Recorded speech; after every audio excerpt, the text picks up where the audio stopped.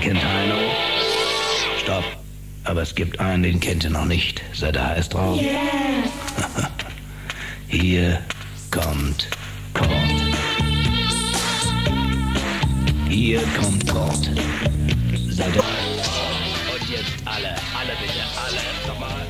Ja, ihn, äh, Sie stört das auch nicht, wenn Sie mal so Kurzwelle auch mal Musiksendungen, das machen Sie auch, das hören Sie auch, ja? Das hören wir auch. Das hören Sie auch. Äh, ja, ich wollte jetzt noch mal ganz kurz was dazu sagen. Äh, was sind denn das für Geräte? Hören Sie mit diesen Dingern, die man also auch so zu kaufen bekommt, Ja, oder haben Sie spezielle Empfänger oder bauen Sie sich da noch bestimmte Dinge ein, um sich das, dieses oder jenes etwas besser ranholen zu können? Auf alle Fälle benutzen wir handelsübliche Empfänger. Hm?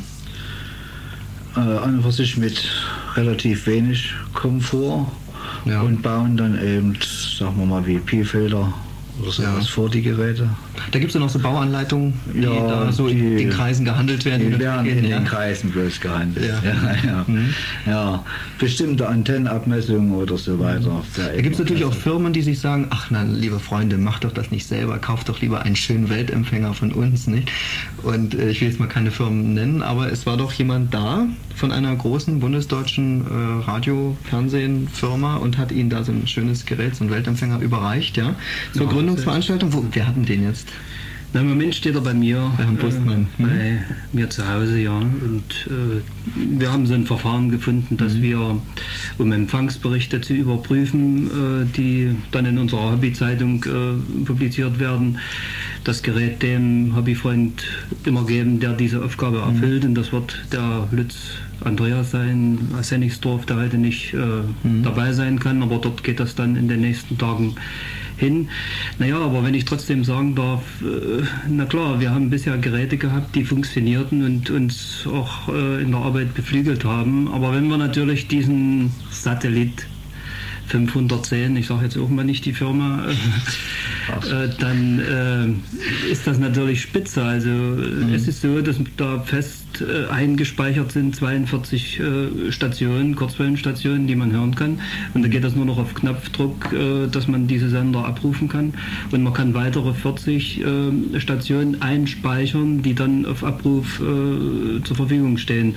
Sodass man also mit relativ einfachen Mitteln die Sender hören kann, aber gleichzeitig natürlich auch wie in altbewährter Weise auch das ganze Frequenzband der Kurzwelle, der Mittelwelle, der Langwelle äh, des UKW-Bereichs durchdrehen kann und auch alle Sender hören kann. Das ist natürlich äh, für unsere Begriffe, für den Radiohörer, um es nicht ganz so äh, technisch zu machen, denn es gibt auch Leute, die einfach bloß einen Sender hören wollen und nur keine DX-Spezialisten werden wollen. Die sind uns genauso ähm, willkommen in unserer Arbeit wie welche, die nun mit hohem technischen Aufwand irgendwas betreiben und dann äh, Spezialisten werden.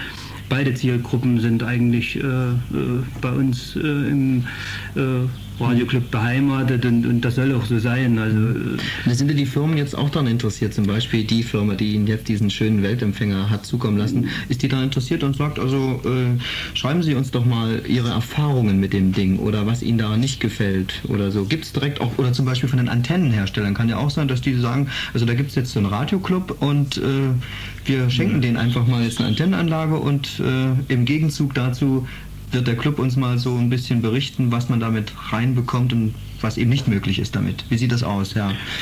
Naja, ganz so ausgeprägt ist das noch nicht. Sicherlich Das kommt steckt so eine, so eine, so eine Vermutung Ja. dahinter. Und, Mhm. und äh, ich meine, wir, wir verschließen uns dem auch nicht, weil uns an neuen Geräten natürlich auch gelegen ist. Äh, wir wollen einfach auch neue äh, Geräte haben, die unsere Arbeit vereinfacht. Und äh, Gottchen, da sind natürlich unterschiedliche Anbieter da, die solche Weltempfänger Empfänger produzieren und diese auch vermarkten. Es sind ja nicht bloß Empfänger, muss man auch deutlich sagen, Antennen, wie schon erwähnt, aber auch eine ganze Industrie, die dranhängt und eigentlich Bücher produziert für, für das äh, komplette Hobby. Äh, ob das äh, ganze Verlage sind, die auf der Strecke arbeiten. Denn man muss sehen, bei uns ist es noch etwas ähm, gering ausgeprägt, das Hobby, aber in der Bundesrepublik zum Beispiel sind das über 10.000 äh, fest in, eine, in Verbänden organisierte Hobbyfreunde, die das betreiben, also recht große Organisationen, Ja. die das machen. Und unser Ziel ist auch in die Richtung Herr Bussmann, kommen. äh, die Zeit drängt. Ich muss Sie hier so langsam äh, so ein bisschen unterbrechen, so ein bisschen kürzen.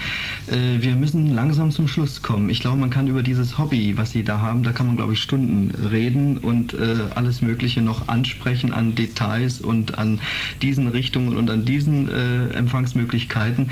Wir machen es einfach mal so. Die Leute, die sich dafür jetzt interessieren, für diesen Radiohörerclub International e.V., die sollten jetzt eine Adresse mit auf den Weg bekommen, wohin man sich wenden kann, wenn man also Mitglied werden möchte. Herr Busmann, geben Sie Ja. mal ganz kurz bekannt.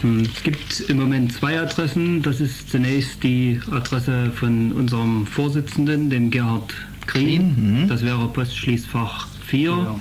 in Schmellen 4000, 7000. 7000, na sag's mal. 7420. Ja. Oder hier in Leipzig an meine Adresse, Straße am Park 16, Leipzig 7062 oder anrufen, Telefon 4779551.